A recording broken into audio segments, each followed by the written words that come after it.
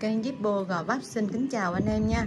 Hôm nay thì em sẽ lên giới thiệu đến anh em về một mẫu Zippo à, thuộc diện dòng xưa nha anh em.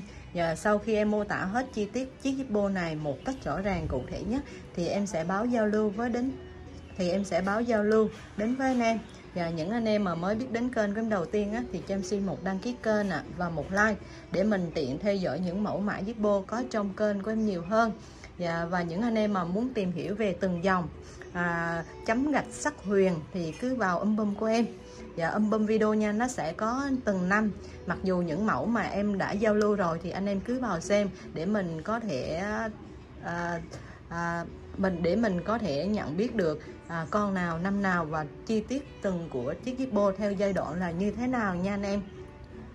Và và anh em yên tâm những mặt hàng mà em giao lưu đến anh em đều là hàng còn nguyên viên chính hãng à, không qua sửa chữa thay thế linh kiện hoặc là à, tăng chỉnh âm cho âm nó to lên thì bên em thì bên bên em thì không có nha anh em. Và, và bây giờ thì em xin phép vào chi tiết chiếc bô ngày hôm nay mà em muốn giới thiệu đến anh em là một chiếc Zippo à, thuộc dòng xưa. Và vì sao nó thuộc dòng xưa? Dạ đây một đáy của nó là một đáy ngược nha anh em được sản xuất vào năm 1969 đó. năm 1969 là năm nó sẽ có Zippo chữ xéo 5 gạch đứng và bên góc bên tay trái thì ba gạch bên tay phải thì hai gạch gọi là Zippo chữ xéo gạch đứng đó. như như này nha anh em để em đưa lại gần hơn thì anh em anh em sẽ thấy được cái mộc đáy của nó rất là rõ ràng đó. rất là đẹp sát nét luôn nha đó, năm 1969 là mộc đáy như thế này nha anh em quá là đẹp Dạ chiếc này thì em về với tình trạng là máy đã qua sử dụng rồi thì à, em cũng đã làm vệ sinh. Nên là tí nữa em sẽ kiểm tra bên à, quay rõ cái ruột để em cảm nhận rõ chi tiết hơn. Dạ chiếc này thì máy đã qua sử dụng nên là à, nước chrome của nó, chrome văn xước của nó trên bề mặt thì nó có sức tơ. Như thế này, à, sức tơ nha anh em. Và nó có thêm khuyết điểm nữa là cái mặt trước của nó. Đây, mặt trước của này thì nó có vết xước hơi sâu. Đây. Những cái chỗ này, góc này nãy anh em thấy xước đúng không? Đó. Nếu mà xước sâu thì nó sẽ có một cái vết trắng như cái trên nách như thế này. Đó, nó như thế này nha anh em. Vì những mặt hàng này là hàng có giá trị nên em sẽ quay rất là kỹ đến với anh em còn chủ đề của nó thì được khắc ăn mòn axit đổ sơn và và theo dòng thời gian từ năm 1969 tới hiện tại bây giờ thì mấy chục năm mà cái màu sơn của nó vẫn còn. À, chỉ có bề mặt là nó có vết xước thôi. À, cạnh viền của nó nha anh em.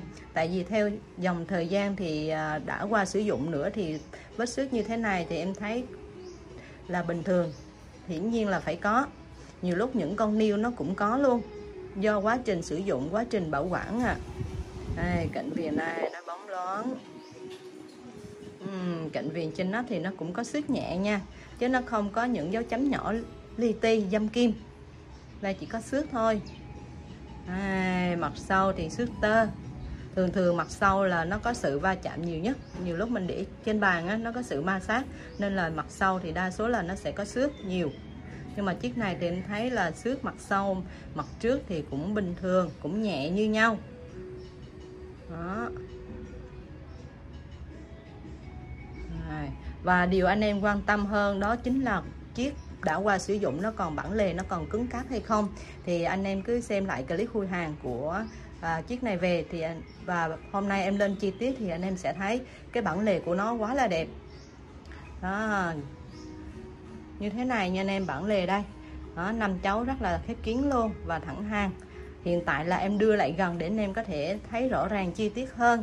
Và chiếc này thì đã qua sử dụng thì em sẽ tìm các góc như các góc như thế này nè. Đó, nó có bẹp hay không nha. Đó. và hiện tại chiếc này thì trên cạnh viền nắp của nó thì nó không có dấu bẹp nha anh em. Mấy chục năm rồi mà tình trạng như thế này em thấy quá là ok. Hàng còn nguyên viên uhm, dưới mộc đáy nó cũng không có hiện tượng bị bẹp góc luôn. Đó rất là đẹp rất là xét nét luôn. Đối với một chiếc năm 1969 năm gạch đứng một ngược.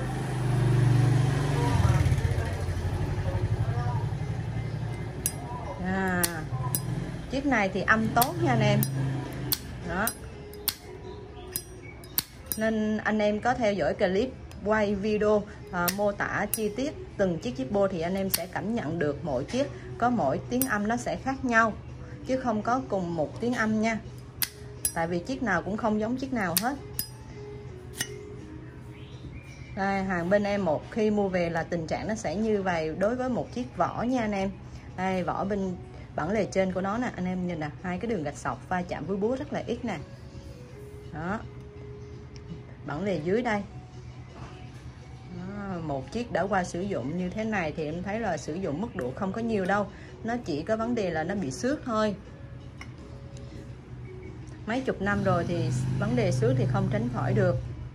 À, về chiếc ruột của nó đây anh em một chiếc ruột thép nha.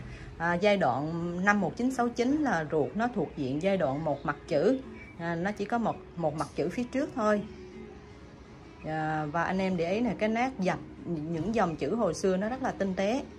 Mặt sau thì nó không có chữ à búa. Rất là khỏe nha. Tại vì búa khỏe là do cái lưỡi gà nó cũng khỏe nữa. Và lưỡi gà bên trong của nó đây, là lưỡi gà lá lá lúa nha, anh em. Cái thanh mảnh hình chữ nhật á, gọi là lưỡi gà lá lúa. Nó đều nhau như thế này. Đó. Tim của nó là tim bột nha, anh em và điều đặc biệt ở bên em thì em không có đổi đầu tim tại vì tim này đã sử dụng rồi thì em để nguyên cái đầu sử dụng luôn. Chứ em không đổi đầu tim khi anh em về sử dụng thì nó lại uổng đi hai đầu. Làm cho hai cái đầu nó xấu đi mình chỉ sử dụng một đầu là ok rồi. Đó rất là đẹp. Bánh xe viên một chiếc năm 1969 mức độ như thế này là em sử thấy sử dụng không có nhiều. Đó. À, bánh xe quá là bán lửa luôn quá là đẹp nha anh em. Và, và chiếc Zippo xưa năm 1969 năm gạch đứng Zippo chữ xéo. Chiếc này với tình trạng là máy đã qua sử dụng với mức độ không nhiều. À, thì chiếc này em xin phép giao lưu. Đến anh em là 2 triệu mốt nha. Năm 1969 2 triệu mốt. Và em sẽ tặng quà đến với anh em là một hộp gối nhung linh kiện. À, một hộp gối nhung rất là êm ái nha. Một hộp gối nhung linh kiện và kèm theo là một bịch đá đỏ linh kiện luôn gồm vài viên như thế này. Và em cũng sẽ bao phí ship đến với anh em. À, và hiện tại là cho em chia sẻ thêm nha. Hiện tại là theo nhu cầu của anh em hỏi là có bán hộp gối nhung riêng không? Thì bên em có bán một cái hộp gối nhung này nha anh em. Và một hối một hộp gối này thì 45 nghìn. Cầm rất là êm ái luôn. Dạ, như thế này ạ. à dạ và trước khi kết thúc clip này thì cho em xin gửi lời cảm ơn đến tất cả anh em đam mê Zippo đã tin tưởng và ủng hộ kênh bật lửa Zippo gò vách dưới ba của em nhé em xin chào và hẹn gặp lại anh em ở clip sau ạ à.